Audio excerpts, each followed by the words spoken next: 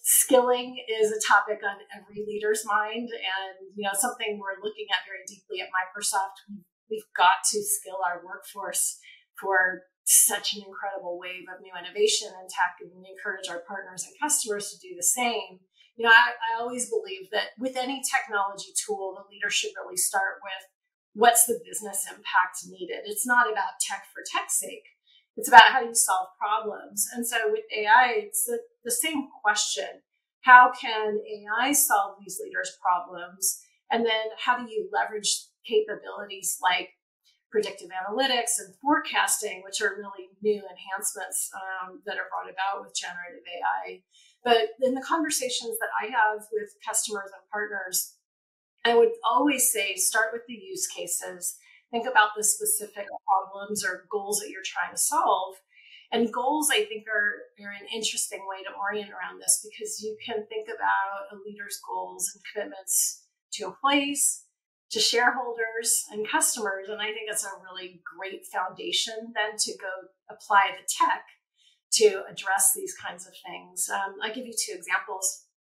Lots of companies are talking about their desire to increase employee productivity.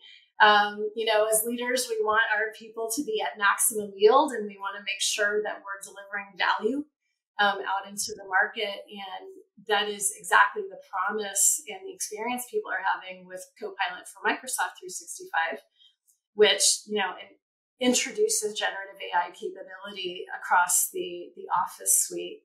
The other one is employee morale. And I'm sure you feel the same way I do. I want to make sure that our employees are thriving, feel valued, love the work they do, see our mission and purpose in the work they do. And we are delivering on that promise with developers for GitHub Copilot.